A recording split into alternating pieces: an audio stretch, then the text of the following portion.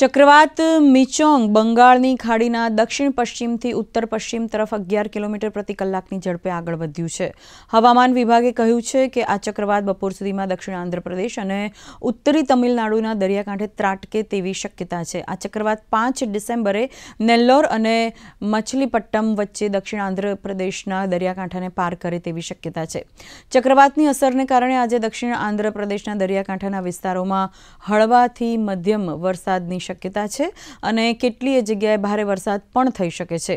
આંધ્રપ્રદેશના દરિયાકાંઠાના વિસ્તારો અને યાનમમાં આજે અને મંગળવારે અતિ ભારે વરસાદ વરસે તેવી સંભાવના છે.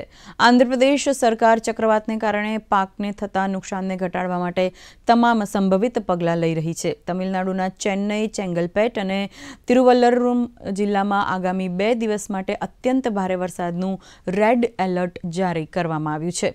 તમિલનાડુના કુડ્ડલોર કાલાપુકુરુચી અને તિરુપતુર જિલ્લાઓમાં અને પુડુચેરીમાં પણ કેટલાક સ્થળોએ ભારે વરસાદની આગાહી કરવામાં આવી છે. તમિલનાડુ સરકારે આવતીકાલે ચેન્નઈ, તિરુવલ્લુર, કાંચીપુરમ અને ચેંગલપટ્ટમાં તમામ સરકારી કચેરીઓ બેન્કો નાણાકીય સંસ્થાઓ માટે જાહેર રજા જાહેર કરી છે, જોકે આવશ્યક સેવાઓ ચાલુ રહેશે.